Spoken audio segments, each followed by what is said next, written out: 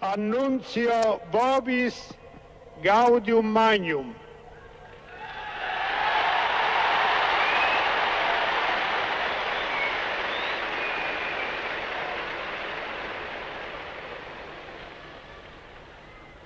Habemus papam.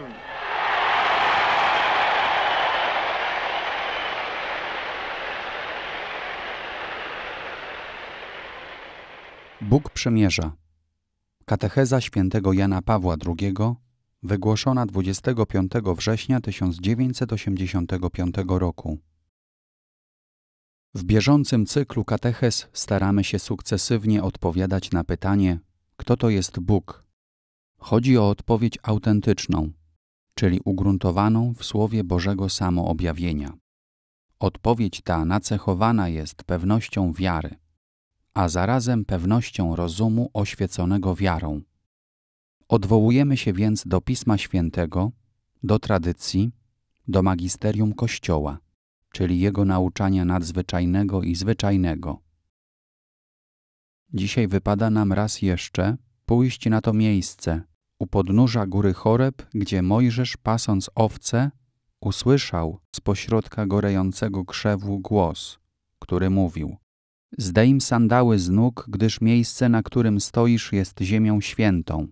I dalej mówił głos. Jestem Bogiem Ojca Twego, Bogiem Abrahama, Bogiem Izaaka i Bogiem Jakuba. Bóg Ojców posyła Mojżesza, aby wyzwolił jego lud z niewoli egipskiej. Wiemy, że otrzymawszy to posłannictwo, Mojżesz pyta Boga o jego imię i wtedy otrzymuje odpowiedź jestem, który jestem. W tradycji egzegetycznej, teologicznej i doktrynalnej Kościoła, którą zdaje się potwierdzać również Paweł VI w Credo Populi Dei z 1968 roku, odpowiedź ta łączy się z objawieniem Boga jako esse. W świetle historii zbawienia, dana przez Boga odpowiedź Jestem, który jestem, odsłania jego bardziej bogaty i dokładny obraz – Posyłając Mojżesza w mocy tego imienia, Bóg Jahwe objawia siebie nade wszystko jako Boga przymierza. Jestem tu jako Bóg pragnący przymierza i zbawienia, Bóg, który was miłuje i zbawia. Ten sposób rozumienia wskazuje na Boga jako esse, na Boga osobę, który objawia siebie osobom i jako takie je traktuje. Ten Bóg, stwarzając świat, zdecydował się niejako wyjść ze swojej samotności aby udzielić samego siebie, otwierając się ku światu, a w szczególności ku ludziom, stworzonym na Jego obraz i podobieństwo. W imieniu Jestem, który jestem, Jahwe, zdaje się dominować nade wszystko prawda, że Bóg jest istotą, osobą, która zna ludzi, miłuje ich i przyciąga do siebie. Jest Bogiem przymierza. W rozmowie z Mojżeszem ten Bóg przygotowuje niejako nowy etap przymierza z ludźmi, a zarazem nowy etap dziejów zbawienia. Inicjatywa Boga przymierza konstytuuje bowiem dzieje zbawienia poprzez wiele etapów, jak to podkreśla czwarta modlitwa eucharystyczna w słowach Wielokrotnie zawierałeś przymierze z ludźmi. Rozmawiając z Mojżeszem u stóp góry Choreb, Bóg Jahwe przedstawia się jako Bóg Abrahama, Izaaka i Jakuba, a przez to samo powołuje się na przymierze zawarte uprzednio z Abrahamem i jego potomkami, czyli z patriarchami tego rodu, który dał początek ludowi wybranemu. Stąd Jakub otrzymuje imię Izrael, które stało się imieniem owego ludu, ludu Bożego. Jednakże inicjatywy Boga Przymierza sięgają jeszcze dalej w przeszłość, przed Abrahamem Księga Rodzaju wspomina o przymierzu z Noem po potopie. Można również mówić o przymierzu pierwotnym przed grzechem pierworodnym. Można więc stwierdzić, że od początku inicjatywy Boga przymierza konstytuują się dzieje człowieka w perspektywie zbawienia. Perspektywa zbawienia to wspólnota życia z Bogiem bez końca, czego symbolem było rajskie drzewo życia – Wszystkie przymierza zawierane po grzechu pierworodnym potwierdzają ze strony Boga tę samą perspektywę, tę samą wolę zbawienia. Bóg przymierza to Bóg udzielający siebie w tajemniczy sposób człowiekowi.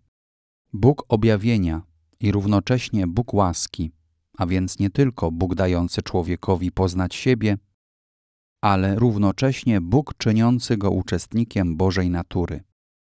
Przemierze osiąga swój ostateczny etap i kształt w Jezusie Chrystusie. Jest to nowe i wieczne przemierze. Bóg potwierdza w nim ostatecznie siebie, jako Bóg przemierza. Stanowi ono zarazem o całkowitej oryginalności tej prawdy o Bogu, jaką wyznajemy w naszym chrześcijańskim credo.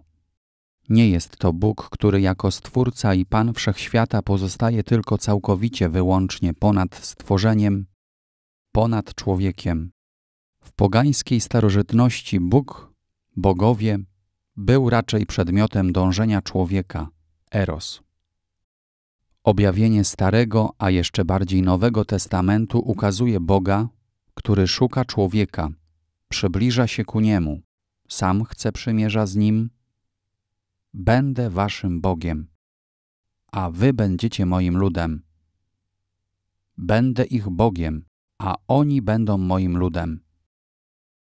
Przymierze na wszystkich swoich etapach jest całkowicie wolną i suwerenną inicjatywą Boga, podobnie jak stworzenie. Równocześnie odsłania ono głębiej jeszcze znaczenie i sens stworzenia w głębinach Bożej wolności. Jeśli mądrość i miłość kierują tą transcendentną wolnością Boga Stwórcy, to jeszcze pełniej odsłania się jedna i druga, a w szczególności miłość, w transcendentnej wolności Boga Przymierza. Trzeba jeszcze dodać, iż jeżeli przez przymierze, zwłaszcza owo ostateczne, i definitywne w Jezusie Chrystusie, Bóg staje się w nowy sposób immanentny w stosunku do świata, to równocześnie zachowuje w pełni swoją transcendencję. Bóg wcielony, a jeszcze bardziej Bóg ukrzyżowany, pozostaje Bogiem niepojętym i nieogarnionym. Co więcej, staje się jeszcze bardziej niepojęty i nieogarniony właśnie dlatego, że jawi się jako Bóg nieskończonej i niezgłębionej miłości.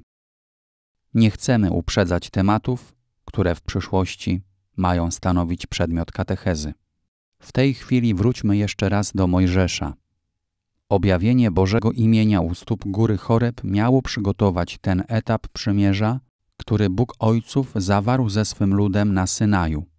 W przymierzu tym uwydatnia się w sposób szczególnie mocny i wyrazisty charakter monoteistyczny tej religii, która na przymierzu opiera swoje credo – Wierzę w jednego Boga. Bóg jest jeden, jeden jedyny. Oto słowa z Księgi Wyjścia. Ja jestem Pan, Twój Bóg, który Cię wywiódł z ziemi egipskiej z domu niewoli. Nie będziesz miał cudzych bogów obok mnie. W Deuteronomium znajdujemy podstawową formułę starotestamentowego credo, wyrażoną w słowach Słuchaj Izraelu. Pan jest naszym Bogiem, Panem jedynym. Izajasz nada temu monoteistycznemu credo Starego Testamentu wspaniały wyraz prorocki. Wy jesteście moimi świadkami, wyrocznia Pana, i moimi sługami, których wybrałem, abyście mogli poznać i uwierzyć mi oraz zrozumieć, że tylko ja istnieję. Boga utworzonego przede mną nie było, ani po mnie nie będzie. Ja, Pan, tylko ja istnieję i poza mną nie ma żadnego zbawcy. Wy jesteście świadkami moimi, wyrocznia Pana, że ja jestem Bogiem, owszem, od wieczności nim jestem. Nawróćcie się do mnie, by się zbawić, wszystkie krańce świata, bo ja jestem Bogiem i nikt inny. Ta prawda o Bogu jedynym stanowi podstawowy depozyt obu testamentów. W Nowym Przymierzu daje temu wyraz na przykład święty Paweł w słowach: Jeden jest Bóg i Ojciec wszystkich, który jest i działa ponad wszystkimi, przez wszystkich i we wszystkich. Ten sam Paweł, który z nie mniejszą od Starego Testamentu żarliwością zwalczał pogańskie wielobóstwo, równocześnie z taką samą stanowczością głosił, że ten jeden prawdziwy Bóg jest Bogiem wszystkich, zarówno obrzezanych, jak nieobrzezanych, zarówno Żydów, jak i Pogan. Objawienie jedynego prawdziwego Boga dane w Starym Przymierzu Izraelowi, ludowi wybranemu, było skierowane do całej ludzkości, która właśnie w monoteizmie miała znaleźć wyraz swojego przekonania o tym, co może być po prostu wynikiem rozumowania ludzkiego. Bóg jako istota doskonała, nieskończona, samoistna, może być tylko jeden.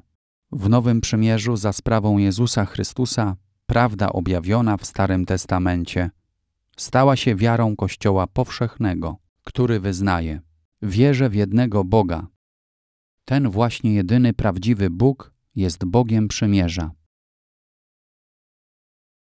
Wierzę w jednego Boga. To są pierwsze słowa składu apostolskiego, które wielokrotnie powtarzamy.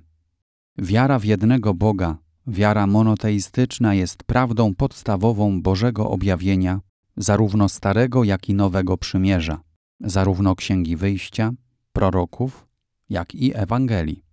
Szczególny wyraz tej prawdy znajduje się w objawieniu Boga danym Mojżeszowi w gorejącym krzaku, u stóp góry Choreb. Wtedy to Mojżesz pyta tego, który się zwrócił do niego w sposób niewidzialny, o imię. Bóg, głos, odpowiada z gorającego krzaku: Ja jestem tym, który jest. Bóg daje nam poznać w tej odpowiedzi siebie samego. Jest to samo objawienie się Boga. Daje się nam poznać jako ten, który jest. To znaczy, jak rozumiano poprzez całe pokolenia ojców i teologów w Kościele, ten, który jest pełnią istnienia. Ale te słowa mają jeszcze drugie znaczenie. Ja jestem tym, który jest dla Was.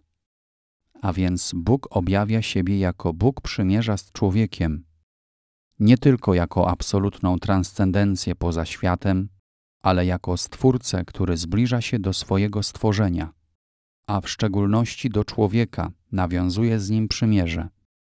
I rzeczywiście te słowa Boga z gorejącego krzaku były wstępem do przymierza na górze Synaj, centralnego przymierza w Starym Zakonie. Wiemy, że to nie było jedyne przymierze Boga z ludźmi. Datuje się ono właściwie od początku, od stworzenia, od Adama i Ewy i wielokrotnie się powtarza w stosunku do Noego, przede wszystkim w stosunku do Abrahama i patriarchów. Potem w stosunku do ludu wybranego właśnie pod wodzą Mojżesza. I to przymierze Boga z ludźmi osiąga swój zenit, swoją pełnię w Jezusie Chrystusie.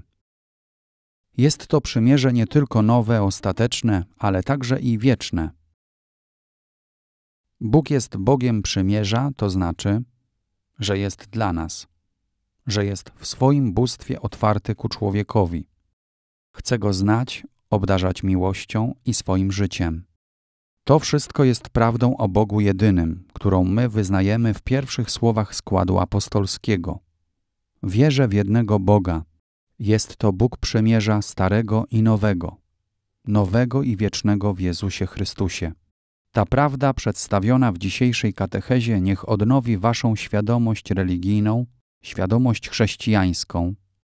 Niech będzie też światłem dla waszego życia. Chodzimy ze światłem Boga w sercu. Tak jak światło słońca w oczach, tak światło Boga w sercu kieruje drogami naszego życia. Za tym światłem dążymy do zjednoczenia z Bogiem. Bóg, który jest Bogiem przymierza, chce, ażeby człowiek uczestniczył w jego życiu na wieki. To jest nasze powołanie w Jezusie Chrystusie. Proszę wszystkich pielgrzymów z Polski, ażeby naszym wspólnym rodakom przekazali moje pozdrowienia i błogosławieństwo. Jeszcze chciałem w szczególny sposób pozdrowić w dniu dzisiejszym Warszawę, ponieważ jest to dzień błogosławionego Władysława z Gielniowa, patrona Warszawy. A skoro od kilku tygodni rozpoczął się już rok szkolny, to specjalne pozdrowienie i błogosławieństwo kieruję do wszystkich szkół, do wszystkich nauczających i nauczanych w całej Polsce, ażeby uczyli zgodnie z programem duszpasterstwa nauczycieli w prawdzie i w miłości, ażeby wychowywali w prawdzie i w miłości.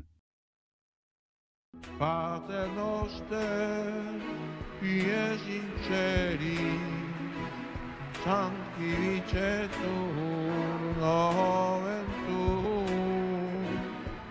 adveniat regnum tuum, fiat voluntas tua, sicur in cielo et in terra. Panem nostrum quotidianum da nobis odie, et dimitte nobis levita nostra, circudano nostri vittimi, vittimo, e vittorius nostri, et ne nos induca in tentazione, se liberano nos a